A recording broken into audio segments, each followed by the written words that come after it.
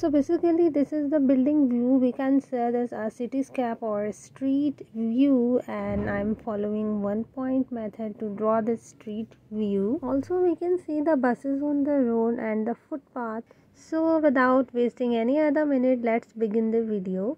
Here i have a pencil. And obviously the serial number of this pencil is h B. Some of you often ask about that why we use HB pencil while drawing. So basically HB pencil is designed to draw a rough and basic structure of any drawing, any painting. Okay ji, so let's come back to the one point method which we are following in this video. So basically all the lines are interconnected with the center point which you can see in the middle. Now if you got the one point theme then go sketch by yourself. But if you didn't get the video this time lapse then you have to go to my ytc and watch complete video which i have uploaded for your betterment.